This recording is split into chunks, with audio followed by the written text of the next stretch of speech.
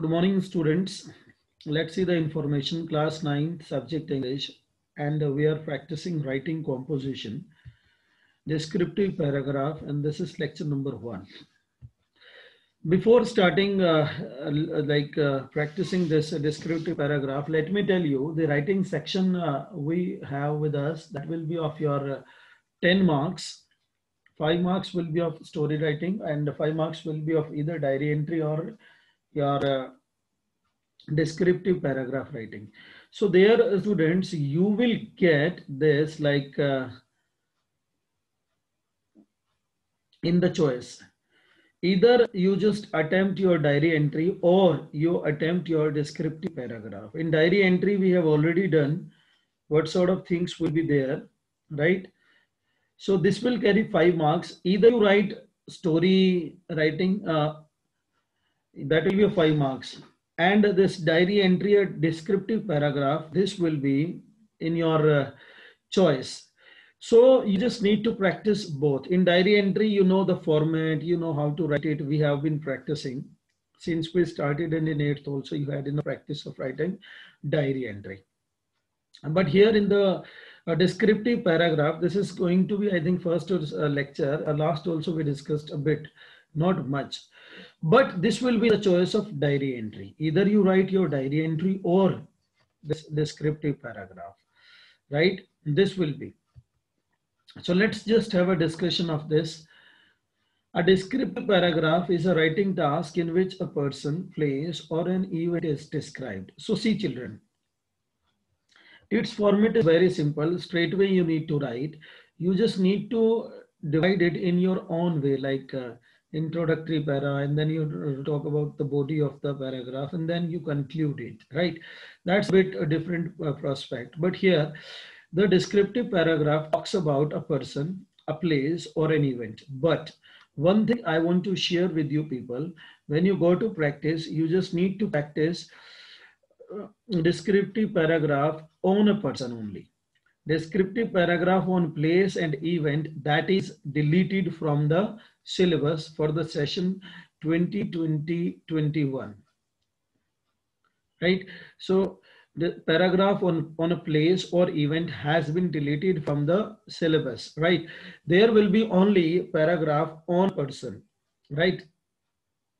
But i am teaching you i need to teach all the things related to this right? So descriptive paragraph comes uh, which a uh, talk task in which a person place or an event is described so here we will discuss only about a person.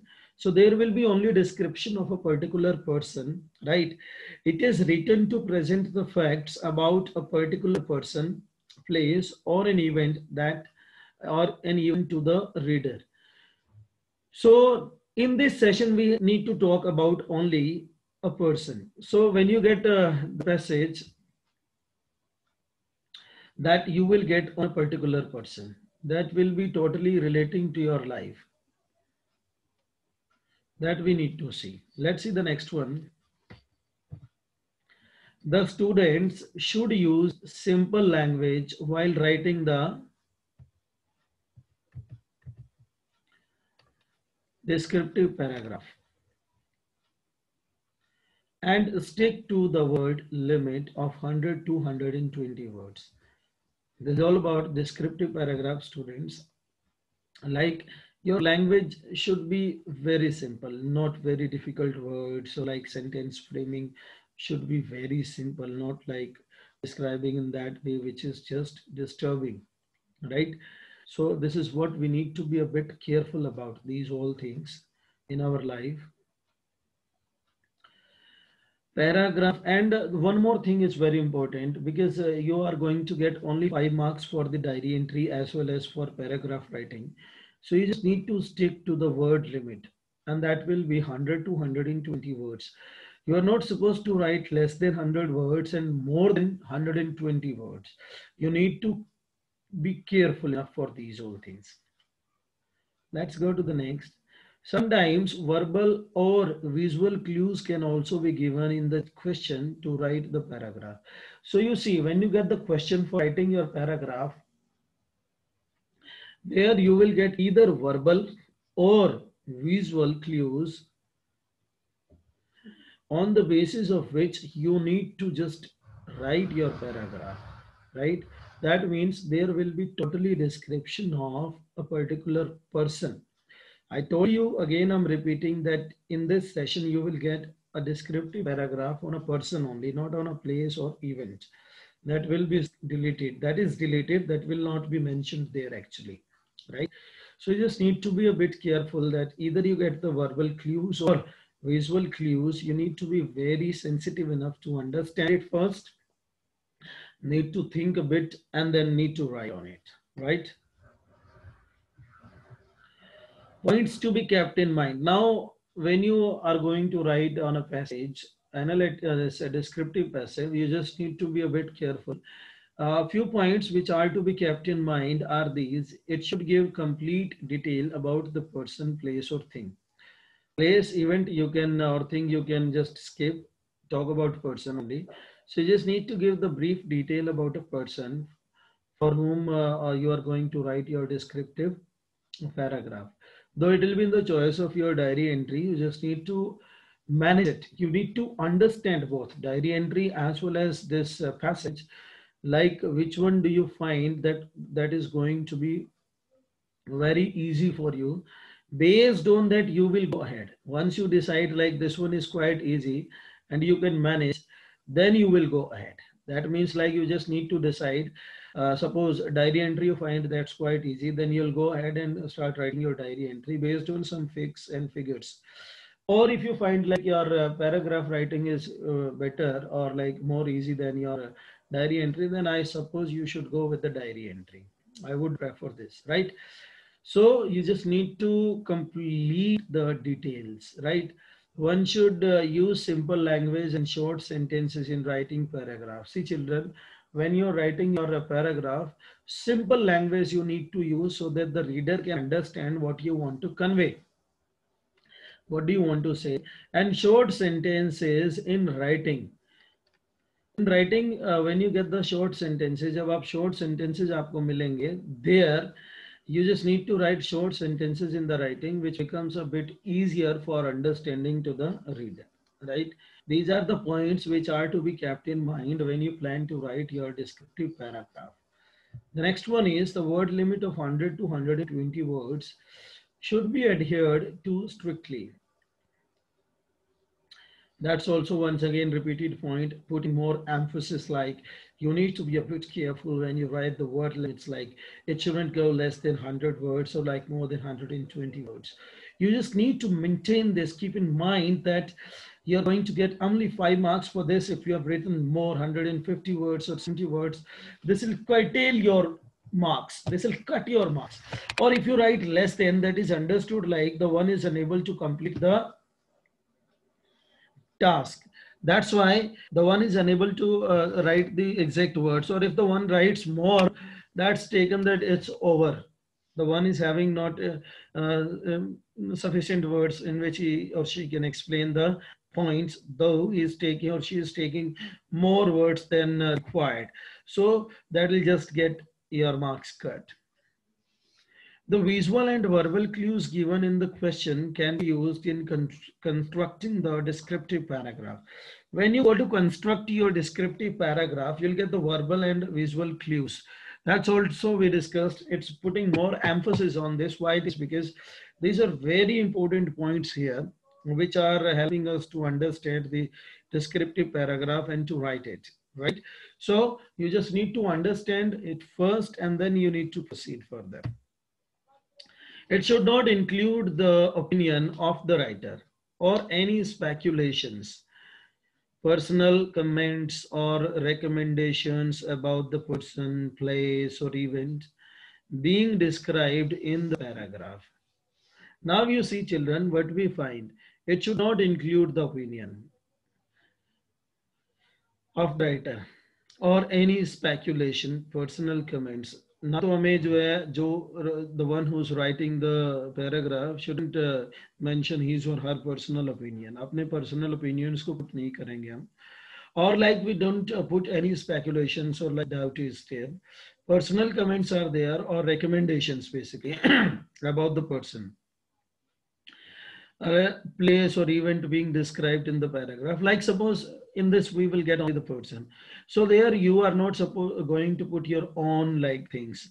When you get the visual clue, you'll see that or like describe it or get the uh, like verbal clue there also based on that. You just need to see. You need to write the basic facts and figures there to just describe that in a proper way.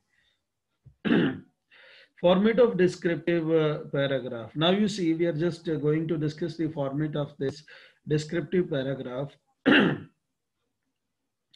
Introduction about uh, the topic in simple and lucid manner. Now you see, this you are not going to explain this uh, like paragraph wise. You simply make a simple paragraph. In that you need to mention everything.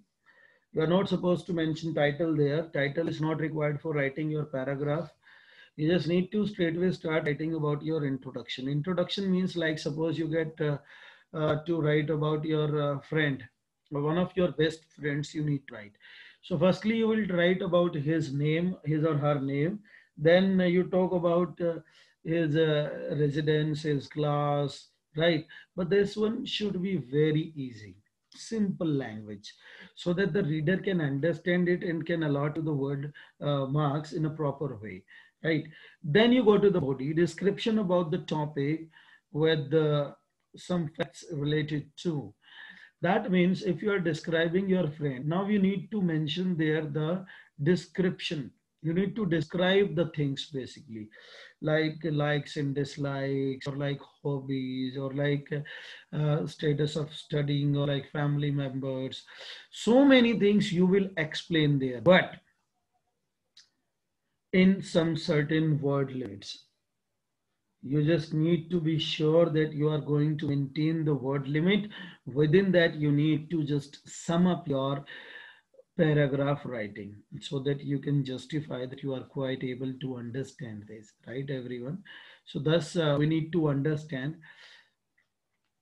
Uh, now, if you're describing, this is quite easy. Even if you just take about uh, this uh, diary entry, sometime it is found that the writing paragraph is more easy or like we can say easier than your diary entry that you will get in the option. You have a choice to just uh, go ahead, though you need to decide what you're going to do, whether you are going to write diary entry or a paragraph, descriptive paragraph that will be up to you people. Which one do you choose when you get the question paper?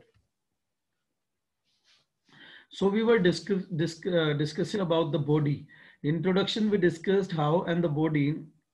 There will be the brief description of uh, uh, the topic you get on which you are writing something about any particular person. So you just need to mention some facts and figures there which are totally related, not like misinterpreting the things or manipulating the ideas or things. That should seem to be a bit uh, realistic, which can be just helpful or uh, understandable for the reader if the one is reading. Right, everyone? So let's go next. Conclusion. Now, how do you conclude? It should be presented with appreciation words about the topic.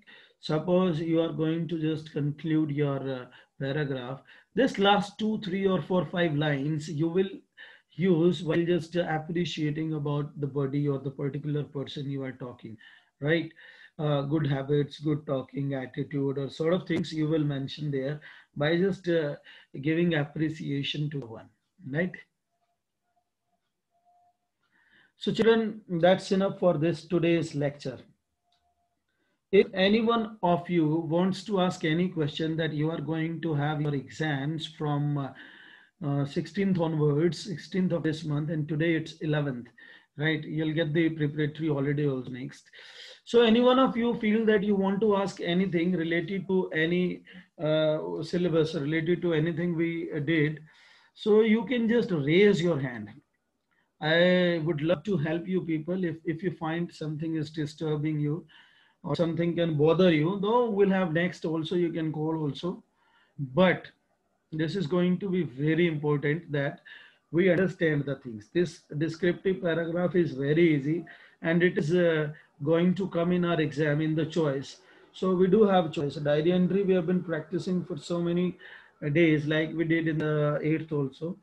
So that will be the better option, but this is person, this varies person to person. If someone finds like the paragraph writing is easier than diary entry, the one should proceed with that.